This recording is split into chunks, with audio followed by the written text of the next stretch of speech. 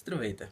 Нещата, които са най-основни според мен в препача на World of Warcraft за новия експаншън Легион са няколко.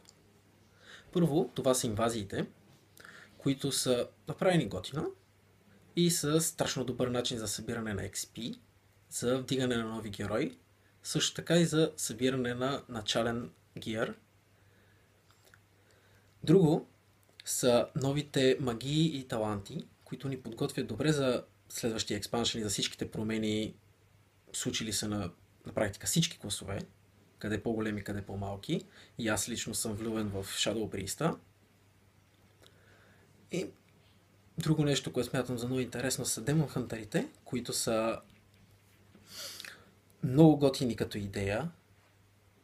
И аз лично още не съм ги пробвал, тъй като не съм си предплатил експанжена, но съвсем скоро играта ще излезе и вярвам, че Blizzard са свършили работата. Като цяло, нещата, които идват с Легион и това как Blizzard го представят и ако си изпълнят всичките обещания, излиза да е може би най-добрият експанжен до сега. И аз лично съм изключително ентусиазиран да го играя.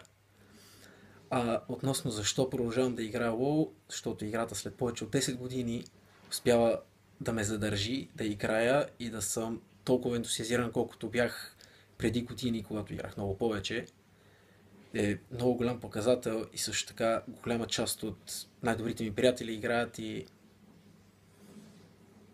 и това е